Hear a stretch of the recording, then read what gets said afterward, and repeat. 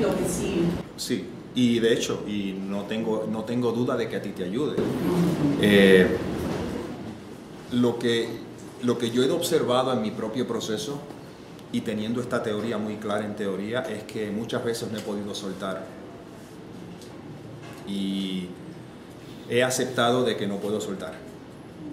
O sea, estamos llevando un estado de aceptación total, total.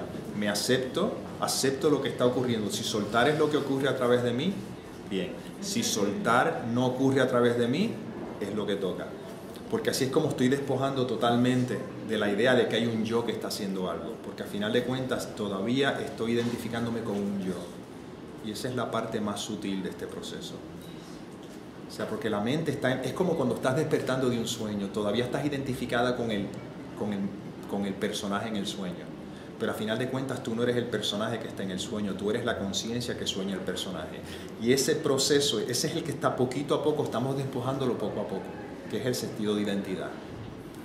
Entonces, pues claro, sí, hay muchas cosas que pueden ayudar, pero la pregunta es a quién están ayudando.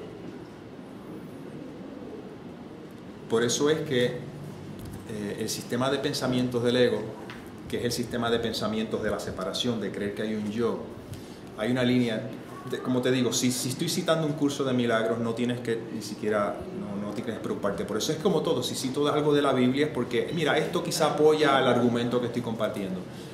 Hay una línea en un curso de milagros que te dice no confíes en tus buenas intenciones. ¿Qué implica eso? Digamos que yo quiero ayudar a otros en el mundo, ¿verdad? Las buenas intenciones están ahí, pero eso corrobora de que hay un mundo que existe. Y eso corrobora de que yo existo como entidad separada. Entonces, por ejemplo, te habrás dado cuenta que hay muchas diferentes prácticas que han servido de apoyo a mucha gente. ¿okay? Eh, tienen diferentes nombres. El problema no es la práctica de esa, digamos, eh, terapia o lo que sea. Ahí no está el problema. Si, si, si fue inspirada y alguien lo está haciendo, pues la inspiración misma dio lugar para que esa práctica apoyase.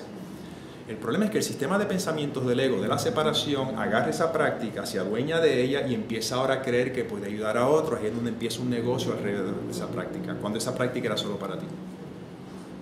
Ahora, si se supone que tú eh, eh, sirvas de terapeuta para apoyar a otros, eso ocurrirá muy orgánicamente y tú sabrás a un nivel mucho más profundo que esta práctica no ayuda a nadie.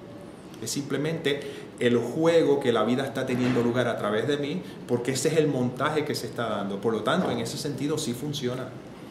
Pero no funciona la práctica, es como la medicina. La medicina no cura a nadie.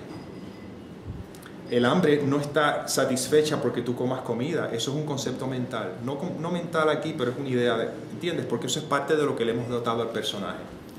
Entonces ahí es donde simplemente yo voy de nuevo a ese espacio donde yo me rindo totalmente. Señor, nada significa nada, no tengo idea por qué te estoy tomando agua, pero es lo que está pasando ahora mismo. Hay un sistema de creencias que dice que esto me quita la sed, es verdad o no, no tengo idea, pero yo lo sigo haciendo porque me apetece. Y entonces ves la vida, viviendo la vida normal y viendo, viendo dónde te pone. ¿Entiendes? Entonces por eso es que eh, ese tipo de práctica que a ti te apoya es muy válido y seguramente va a apoyar a mucha gente. Lo importante es que yo no haga esa práctica y decir esto sirve. ¿Entiendes? Porque yo no sé. No tengo idea.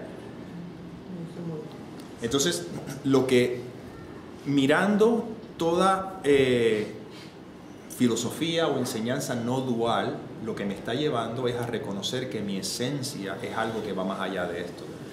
Esto no es un tipo de charlas que es muy este, popular, aunque últimamente está empezando a agarrar bastante auge, porque a un nivel mucho más profundo, yo creo que en, la, en, en lo más profundo del corazón de todo ser humano, para efectos de hablar en lenguaje dual, estamos dándonos cuenta que no importa todo lo que tenga, no soy feliz.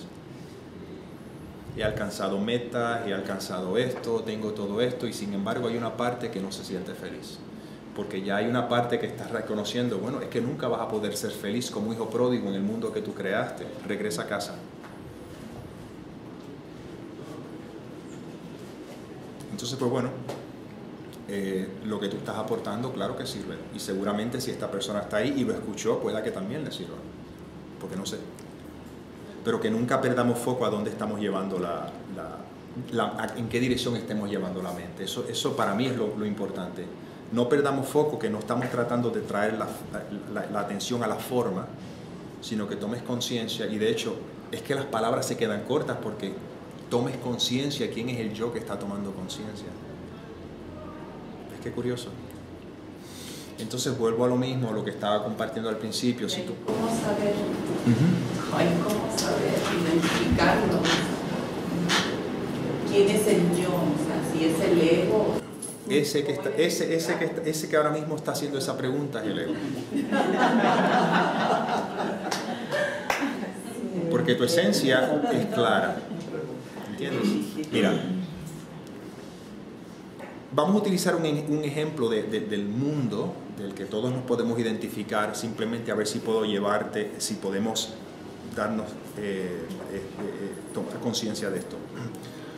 Tu esencia es algo que es inequívoco, pero hay un sistema de creencias que es interpuesto ante eso que es inequívoco y por eso te identificas con las creencias como si fuese verdad. ¿Ok? Cuando eres consciente de que eso que es inequívoco es que ni lo cuestionas, ¿verdad? Te voy a poner un ejemplo ahora. Yo te pregunto a ti, ¿tú eres una mujer? ¿Sí o no? Y eso es inequívoco para ti. Es una creencia, pero para ti es inequívoca. ¿Por qué? Porque en, el, sistema de, de, cultura en que nos hemos creído, una persona que luce de esa manera se le considera mujer. Y tú te lo has creído a tal nivel que tú dices, esto es quien yo soy que no es quien eres, pero es quien yo soy. Pues cuando empiezas a despojar el sistema de pensamientos de, la separación, de todos sus conceptos, hasta el concepto mujer inclusive, entonces ya esa pregunta que acabas de hacer no surge, porque hay una parte de ti inequívoca que sabe soy conciencia. Pero sigue jugando el papel de mujer, eso no cambia.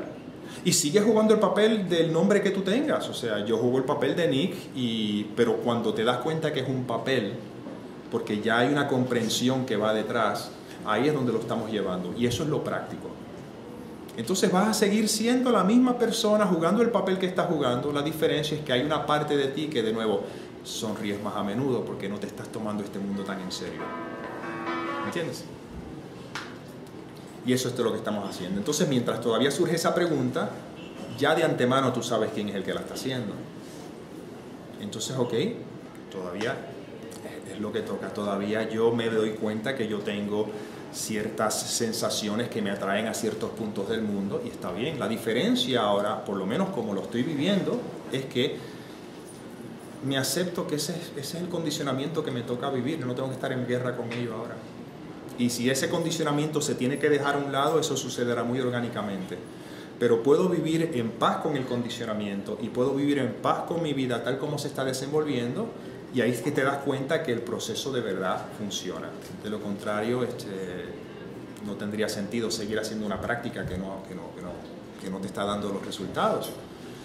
Pero de nuevo, el resultado del que estamos hablando aquí es esa paz interior que sientes. Y de nuevo, vamos a lo práctico. Observa cómo te sientes cuando te crees el sistema de pensamientos con el que te estás identificando y observa lo que naturalmente ocurre cuando dices mi ritmo. Y ese, y ese contraste eh, de nuevo, disculpa si estoy citando un curso de milagros, es que tiene unas citas muy bonitas. Hay una que dice, todavía no tienes suficiente confianza en mí, pero esta aumentará a medida que sigues eligiéndome a mí en vez de a tu ego por consejos. Y lo que va a dar testimonio de que esta es la única elección cuerda son los resultados. Me explico, aquí tenemos que tener mucho cuidado porque el sistema de pensamientos del ego cree que el resultado es un cambio en el mundo. ¿Okay? no tengo suficientemente confianza en el sistema de pensamientos del amor, que es la paz de la que estoy hablando, porque yo todavía estoy muy identificado con este yo que se cree que de verdad el mundo tiene algo que ofrecerme. Pero cada vez que pongo mi atención en el mundo, veo el precio que estoy pagando. Me apego a una pareja, me rompe el corazón, o se, va, o, lo que sea. Me apego a que mis hijos se comporten de una manera y no lo hacen, sufro. Me apego a que tengo que generar tanto dinero, pierdo el trabajo, miedo. Me apego, ¿ves, ¿ves todo eso? No tengo todavía suficiente confianza en simplemente retirar la atención de ahí y volver a este espacio.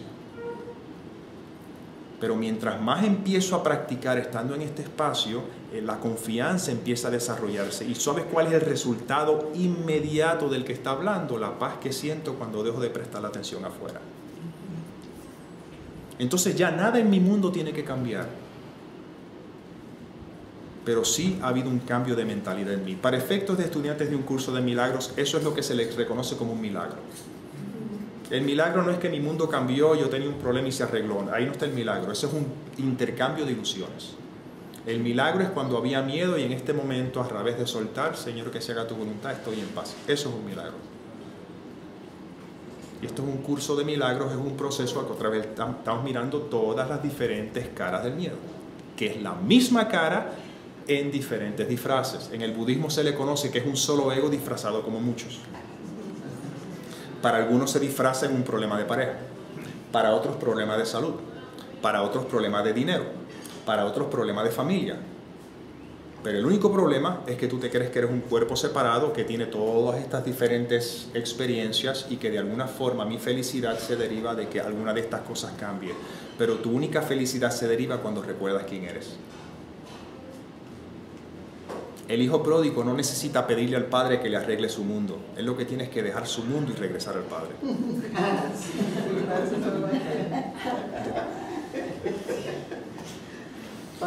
Eso es lo que estamos haciendo aquí. Estamos soltando nuestro apego a un mundo que se ha fabricado con la intención de eh, percibirme como separado de mi fuente y ahora quiero traer la atención a mi fuente. Y mi fuente eres tú, no tú como persona, tú como esencia. Entonces yo no necesito ver cómo llegar a mi fuente porque ya soy la fuente. Lo que tengo es que empezar a despojarla de todo lo que yo he interpuesto ante ella. Y entonces yo te lo puedo llevar directamente al grado. Cualquier cosa que tú pienses es una mentira. Si quieres ir al grano, ahí está, pum. Y ahora es, esto es lo que es, vivir. Confiando de que hay un, de que hay un orden en todo y que todo me está llevando ese reconocimiento.